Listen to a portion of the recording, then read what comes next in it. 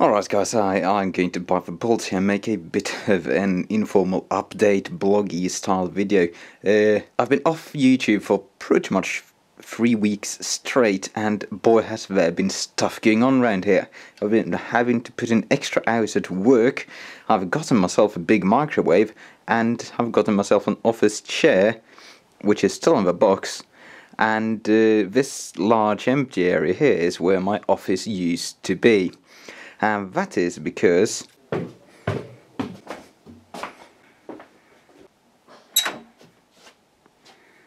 my office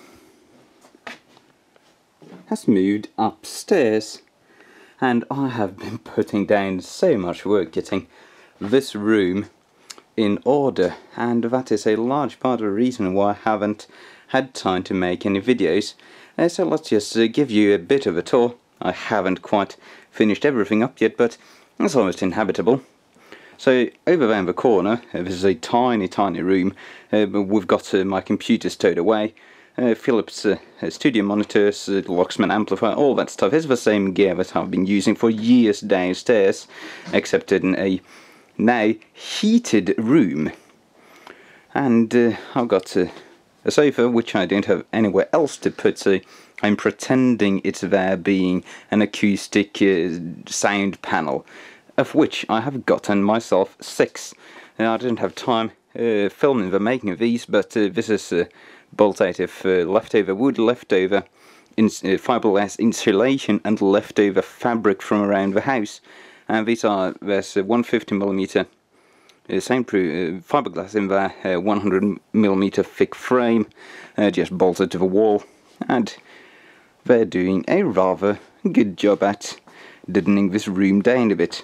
When I first uh, put my speakers in here, I had such horrible modes at uh, a lower bass frequency, so I simply had no bass at all. So I simply had to do the acoustics, which I, you know, I wanted to do for a long time, but it was a severe case of lack of bass here, which I could not survive. and uh, this is uh, a so this uh, desk is made up of uh, two uh, 200 by uh, 90 or 200 195 by 95 actually centimeter hardwood tabletops which I found at the local Goodwill equivalent for a rather impressive price of 30 euros a piece which I proceeded to get down to 100 euros for all four of them. And these are lovely pieces of uh, uh, tabletop there.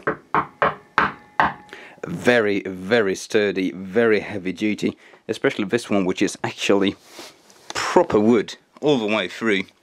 Uh, the other ones uh, are uh, veneered uh, very hard fiberboard, but there, there is a thick veneer on these and it's real wood. You cannot tell the difference by knocking. So I'm very happy with these.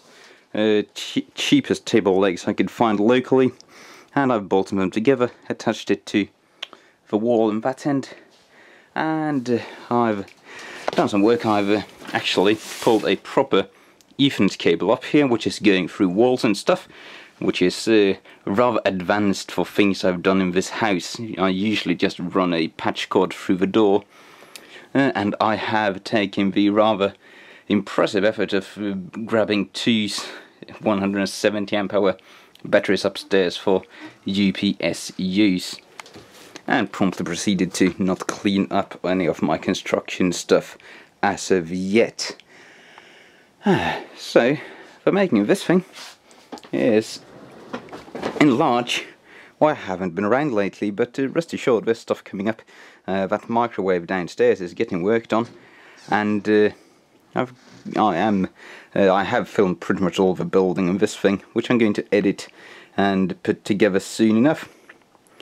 So sorry to, in particular, my patrons for disappearing for so long, uh, but now at least I've presented you with an excuse. So uh, thank you for watching hopefully I'll have a bit more time to actually give you guys value for your money in the near future.